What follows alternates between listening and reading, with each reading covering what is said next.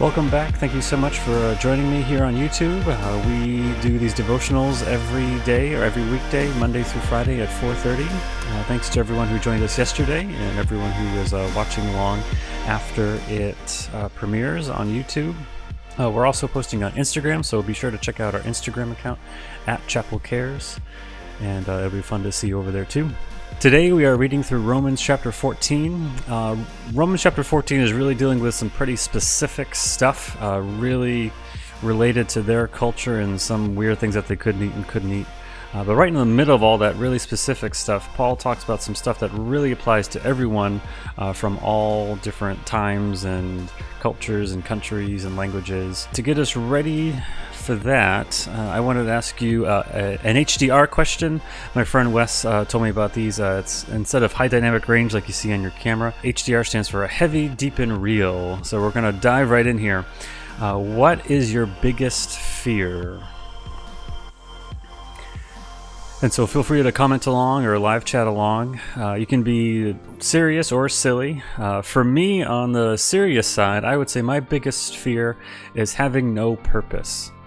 Uh, you can say purposelessness, and that is a word. In my script here, it doesn't have a red underline, so purposelessness uh, is a word, but it's hard to say. And some of you might have been thinking about some of these HDR questions, like what are my biggest fear? You see a lot of scary stuff in the news, and maybe you're thinking about life and death and the purpose of life and the meaning of life and all of these heavy, deep, and real topics. And so, Paul, in Romans chapter 14, verse 9, he cuts right to the issue. He says, If we live, we live for the Lord, and if we die, we die for the Lord. And for me, that's really meaningful because uh, that word for in there, uh, that's really talking about purpose. Uh, our life has purpose. Uh, we should be living for God. And even if like we were to get the virus and die, like if we know God, uh, then we still have a purpose. when we die, we are going to have a purpose in heaven still. Uh, and the Bible describes heaven just as real as it does our own existence right now. And so that verse really does help me think about my purpose, and that gives me hope and gives me peace. Another thing I wanted to share with you guys is this thing called uh, the New City Catechism. If you are extra bored and really wanted to dive into it, but they have a really cool website and a really cool app. And what a catechism is, that's kind of an old clunky word, uh, but what it does is it has a question and then an answer.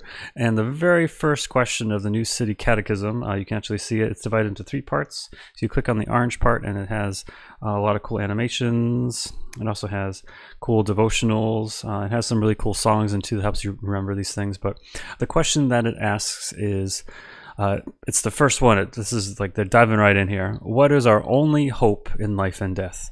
And the answer is this that we are not our own, but belong, body and soul, both in life and in death, to God and to our Savior, Jesus Christ. And so that question and answer form helps me process things, it helps me remember things. Um, and the verse they actually chose is the verse for today in Romans chapter 14. Uh, because we know God, because we are living for God, and someday we will die for God. That gives us hope, that gives us purpose. In closing, here, I would encourage you to think about that. Uh, think about ultimate purpose the more sure we are about our purpose, the more hope we will have uh, in the midst of all this craziness. And maybe check out the New City Catechism. They have a great website and a great app. It's all free.